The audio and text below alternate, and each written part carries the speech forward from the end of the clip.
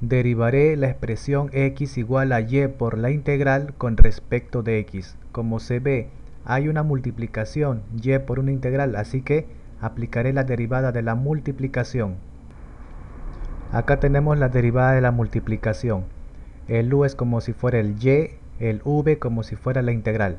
Listo, comenzamos a ver. Vamos a derivar a ambos lados. Empezamos.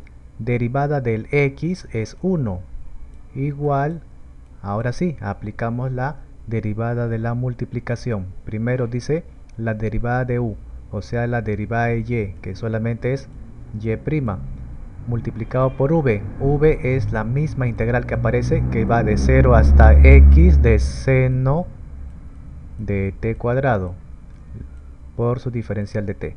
Listo, ya está v. Ahora viene más la derivada de v, o sea la derivada de la integral y para ello necesitamos el primer teorema fundamental del cálculo. Aquí está ese teorema. Vamos a identificar quién es quién. A ver, h de x, que es el límite superior en la integral, que en nuestro caso es x. g de x es el límite inferior, o sea, lo que aparece en la integral en la parte de abajo, que es el 0. Y f de t es la función que está en la integral, que en nuestro caso es seno de t cuadrado seno de t al cuadrado. Listo, ahora sí, ya podemos aplicar la derivada de la integral. Abrimos paréntesis y empezamos a derivar. Primero va f de h de x, o sea, f, ¿quién es h de x? Es x. Y esto multiplicado por la derivada de h de x. La derivada de h de x es 1. Como es multiplicación por 1 ya no es necesario colocar.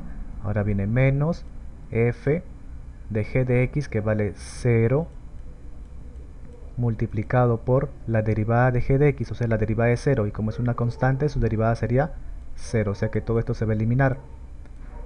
Listo, ya hemos derivado la integral. Ahora viene multiplicación por u. ¿Quién es u? u es el mismo y. Listo. De esta forma tendríamos 1 es igual a y derivada por toda esta integral que va a bajar y abajo más f de x como f de t es igual seno de t cuadrado f de x será seno de x al cuadrado o sea solamente se reemplaza. En vez del t el x. Listo. Todo esto salió seno de x al cuadrado y todo multiplicado por el y que viene por acá. Ahora ¿cuánto vale toda esta integral? en el dato tenemos x igual a y por la integral de toda esa expresión, ¿verdad?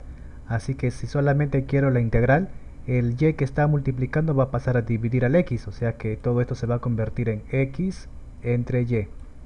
Listo, entonces tendríamos 1 igual y derivada multiplicado por x, todo dividido entre y, y sumado seno de x al cuadrado por y, es decir, y por seno de x al cuadrado.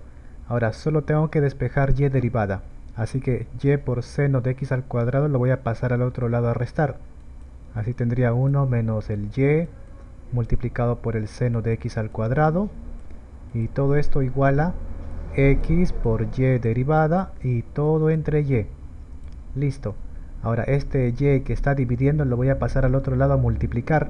Así que va a quedar y por 1 que sería y menos y por y, y al cuadrado, que multiplica al seno de x al cuadrado. Y acá se queda y derivada multiplicado por x, pero como estaba multiplicando el x, va a pasar a este lado a dividir. Listo, ya pasó a dividir. Y listo, ya tenemos el y derivada. Es igual a toda esta expresión. Fin del ejercicio. Para descargar el formulario de integrales pueden entrar a esta página cuyo link se los voy a dejar ahí abajo en la descripción. Hacen clic acá y en la parte de abajo donde dice formulario de integrales, cuando aparezca este botoncito con esto lo descargan.